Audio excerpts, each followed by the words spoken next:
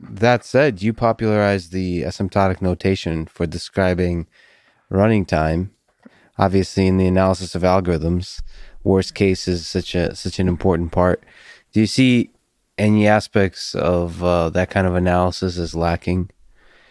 Uh, so and notation too. Well, the the main pur- purpose we should have notations that that help us uh, for the problems we want to solve, and so that right. they, they, match our they, they, match our intuitions. And uh, people who worked in number theory had used uh, asymptotic notation in what in a, in a certain way, but it was only known to a small group of people. And and I realized that, in fact, it was very useful to be able to have a notation for something that we don't know exactly what it is, but we only know p- partial about it. And so instead, so uh, for example, instead of big O notation, let's just mm-hmm. let's just take a, a, much simpler notation where I'd say zero or one, um, or, or, or zero one or two, and suppose that suppose that, that uh, uh, when I had been in high school, we would be allowed to put in the middle of our formula x plus zero one or 2 mm-hmm.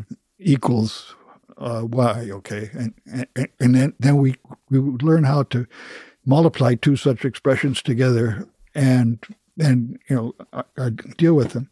Uh, well, the same thing. Big O notation says uh, here's something that's uh, I, am not sure what it is, but I know it's not too big.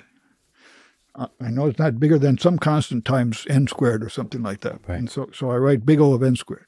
And now I, I learn how to add big O of n squared to big O of n cubed, and I know how to add big O of n squared to uh, plus one and square that, and how to take logarithms, exponentials that have big O's in the middle of them. And that turned out to be uh, hugely valuable in, in, all of the work that I was trying to do as I'm trying to figure out how good an algorithm is.